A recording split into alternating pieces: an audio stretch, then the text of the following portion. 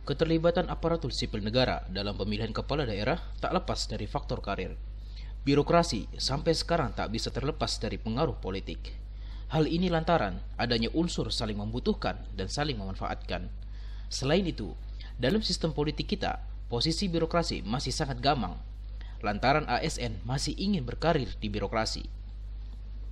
Dikonfirmasi Venus TV terkait hal tersebut, Wakil Ketua DPRD Berau, Anwar, membenarkan hal itu Dikatakannya, jika keterlibatan ASN dengan politik memang tidak bisa dihindari. Pasalnya, jenjang karir sebagai aparat birokrasi dipastikan terkait dengan kepentingan politik, meski keterikatannya secara tidak langsung.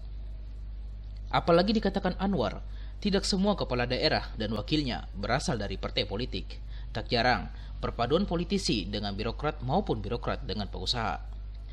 Kondisi demikian pun diakui Anwar terjadi di Kabupaten Berau, di mana kepala daerah sebelumnya berasal dari birokrasi, baru saat ini murni berasal dari partai politik. Uh, ini pernah terjadi. Coba kita lihat beberapa tahun kemarin, uh, justru yang menjadi pemimpin kita itu adalah bagian dari birokrasi. Contoh Pak Mas Juni, Pak Makmur. Nah, baru pada saat ini uh, pemimpin daerah kita yang dijabat oleh Pak itu murni dari politisi. Sama dengan Aja Gustang Tomo itu dari bisa dikatakan juga politisi juga dia dari swasta. Tetapi jajaran di bawahnya mulai sekda, asisten dan sebagainya, uh, tentu dia juga tidak lepas bahwa ke depan dia punya kesempatan.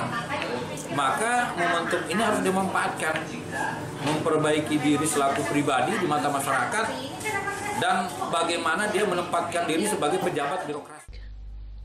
Meski demikian, bagi Anwar, ASN memang mempunyai hak yang tak bisa dibatasi ketika mereka memang mempunyai kinerja dan amanah termasuk dalam hal dilirik menjadi bagian dari politisi. Saya pesankan bahwa pejabat-pejabat birokrasi punya hak tidak bisa kita batasi ketika uh, mereka dilirik uh, menjadi bagian dari uh, politisi.